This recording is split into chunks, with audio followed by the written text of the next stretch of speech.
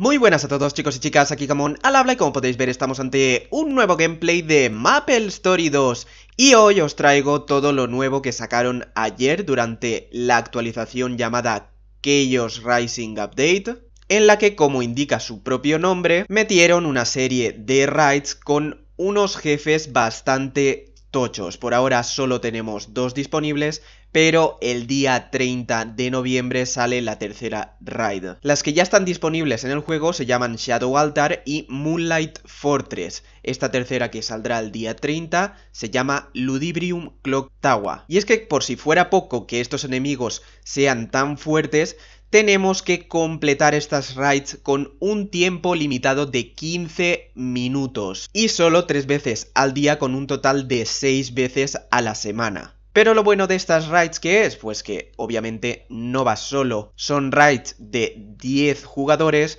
por lo que podrás ir con tus amigos. Cuando hayáis derrotado a uno de estos bosses, os dropearán lo que serían las nuevas armaduras legendarias. Estas armaduras se dividen en tres clases, Extreme, Rage y Panic, las cuales en las notas del parche definen como las mejores armaduras que existen en el juego de Maple Story 2. Y si luego resulta que no te gusta lo que has obtenido, lo puedes desmantelar y de esta conseguir un Weapon Box Fragment para crear lo que tú quieras nuevamente. Pero aquí no termina la cosa, porque resulta que también han metido un Wardrobe Swap en el que podréis cambiar el set de moda que llevéis puesto y de esta forma no tendréis que estar cambiando que si el pantalón, que si el gorro, que si tal, simplemente le dais al set que queráis en ese momento y ahora lo puedes tener instantáneamente. También han puesto nuevos slots, nuevos set para los slots y es que ahora si queréis tener ciertas habilidades, por ejemplo, queréis de curación en cierto momento y no queréis estar cambiando en el inventario vuestras habilidades, pues ahora tenéis unas flechitas en las que podréis cambiar el set de habilidades que tenéis y los objetos también, obviamente. Además, como en América dentro de unas cuantas semanitas se va a celebrar el Thanksgiving, acción de gracias que se le llamaría aquí, pues nos han metido un evento llamado Attack of the Giant Turkey, en el cual nos aparecerá un pavo enorme del terror que hará su función de boss, al cual tendremos que derrotar para conseguir ciertos objetos. Para ello tendremos que completar una de las misiones diarias 10 veces y de esta forma conseguiremos nuestro Dashing Turkey. Luego 20 veces para recibir el Tarkinator, también para el Garden Party Feast Table y 30 veces para el Garden Party Turkey Balloon. Además, por cada vez que completemos esta misión nos darán 50 Roasted Turkey que sirven para restaurar 800 de salud.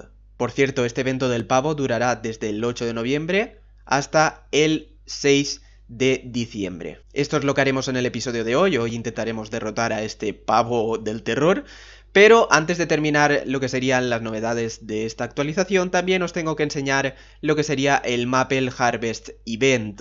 Y es que como nos tienen ya acostumbrados, en Queenston acaba de salir algo por arte de magia y es que resulta que en Queenston's Gardens ha brotado un árbol y pues como buena gente que nosotros somos tenemos que darle Nutritious Fertilizer que sería como fertilizante para que este árbol crezca. Cada vez que hagamos crecer este árbol nos dará lo que sería una Maple Leaf. Estas Maple Leaf podremos intercambiarlas con el NPC Bobby por objetos para nuestro hogar, eh, consumibles, también monturas, un montón de cosas, pero también algo importante es que cada domingo sucederá un evento en el que este árbol pues como que crecerá y si lo tocamos nos dropeará una Maple Tree Gift Box con más objetos útiles en su interior. El evento durará desde el 8 de noviembre hasta el 6 de diciembre también.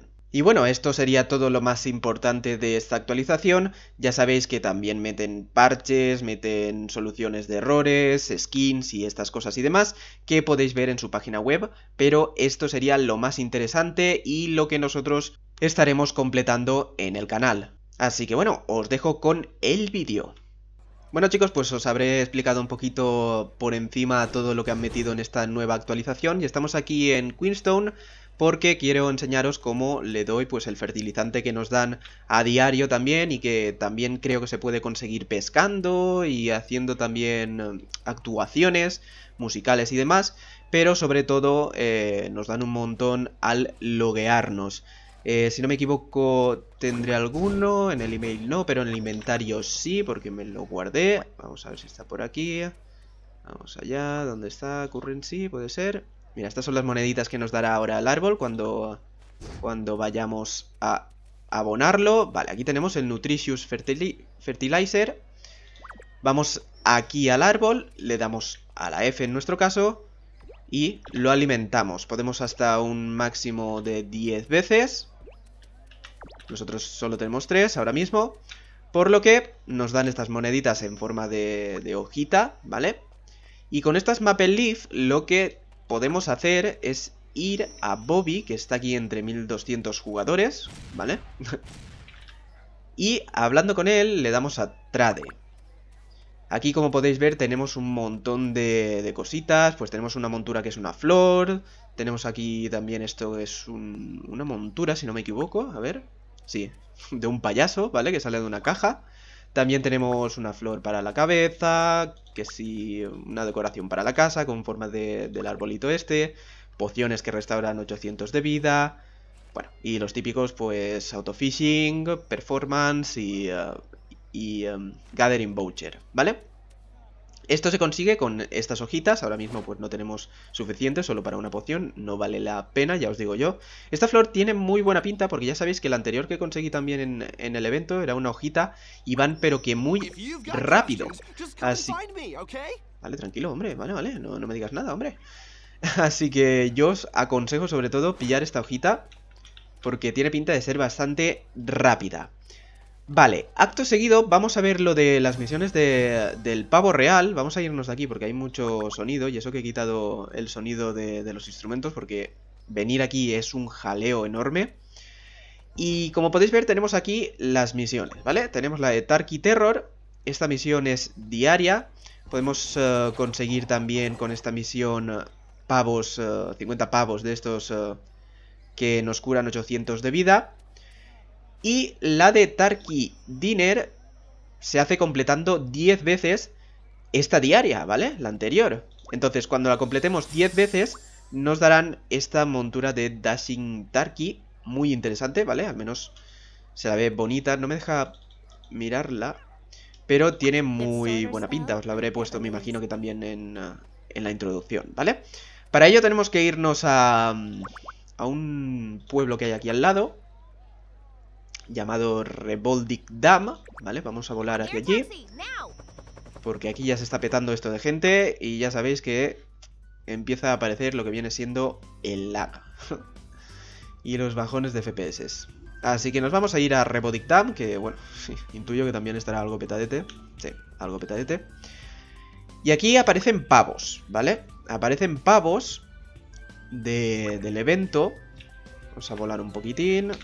Vamos a venir hasta aquí. Si no me equivoco, aparecen aquí a la derecha. Vamos allá, vamos allá. Por la zona esta de aquí, si no me equivoco.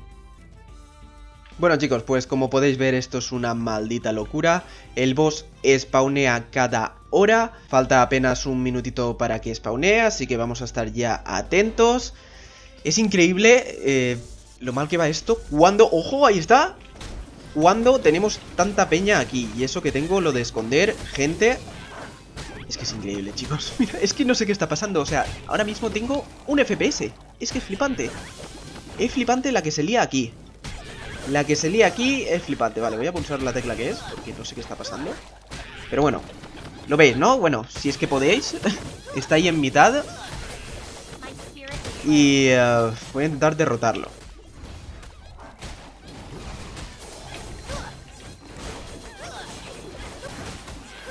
Oh, Dios mío, chicos, eh, no sé qué está pasando, de verdad, imagino que habré cortado un poco porque es que voy a un FPS literalmente y toda la gente quejándose, pero... Bueno, pues parece ser que el pavo ha muerto, ¿no? Pero muerto bastante y, no sabemos ni cómo, porque nos teletransportamos. Hay un lag y unos bajones de FPS con este boss, la gente quejándose, de verdad. es que no sabemos ni dónde estamos. Así que bueno, chicos, es que me, voy ya de aquí, me voy ya de aquí antes de que me explote algo. Me voy a Queenstone y, ya está. Ya está, hemos completado la misión, como podéis ver ahí a la derecha. Ahora tenemos que ir a hablar con, eh, con el NPC en Queenstone para que nos dé los pavos pues cocinados y de esta forma tener ya completada esta misión un día, ¿vale? Así que estamos yendo allí, ha sido una risa todo, ha sido una risa impresionante derrotar a este boss. Menos mal, quien no hace prácticamente daño, apenas te empuja un poco, pero no he visto que haya bajado mi, mi barra de vida. Y vamos a ver dónde está esto. Y eso que tengo, la opción esta de, ocultar a los personajes. A ver dónde está. Aquí está el árbol. Vale. Aquí está, vale. Porque si no, esto ya sería una maldita locura, de verdad. Mi ordenador es de la NASA y no puede con esto. Completamos la misión, nos da los pavitos. Y ya, pues me imagino que eh, me da la nueva de, de, hoy, porque esta es la de ayer. Así que chicos, bueno... Mm, una locura lo del pavo, de verdad, os lo digo. una maldita locura. Y bueno chicos, si me deja este enfocar un poquito, ahí está.